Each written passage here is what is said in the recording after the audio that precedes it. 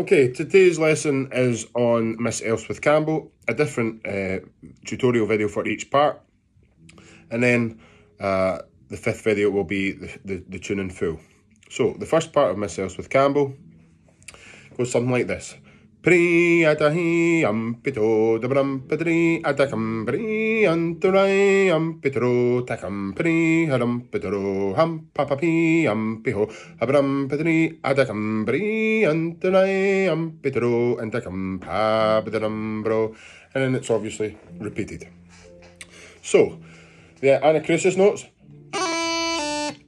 make sure you stretch out the, the E doubling. Hooray! But also let me hear the short D to set you up with a nice clean G grace note on C.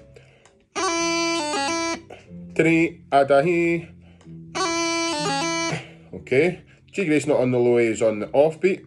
Get a nice clean D grace note on C with a strong G grace note on low A on beat 2. Pri adahi yampato.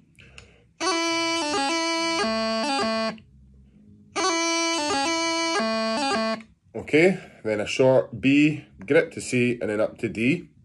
Into bar two, you've got the run down, E doubling, D, tacking from C to low A.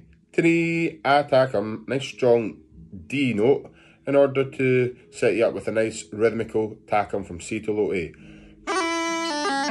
One, two, three, four, high doubling on the beat, playing E on the offbeat, under right, half doubling on E, three, a hurrow, Nice rhythmical tackum from low A to low G this time. Horo tackum. Then the rundown. Nice rhythmical uh, doublings. With a low G doubling on the beat. Three, a horo, kataro.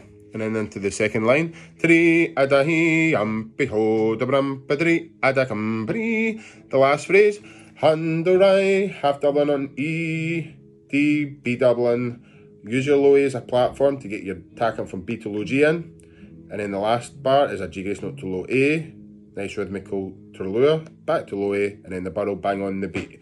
So the last phrase, Tandorai ampitero and takam bro.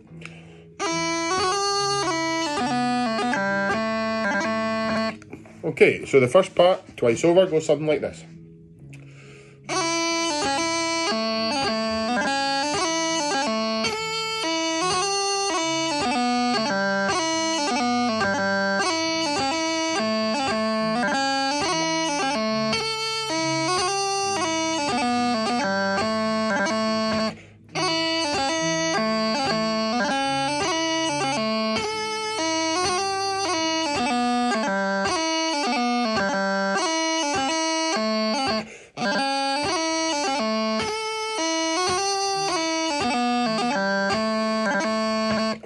Okay, enjoy learning the first part of Miss Elspeth Campbell. Well done.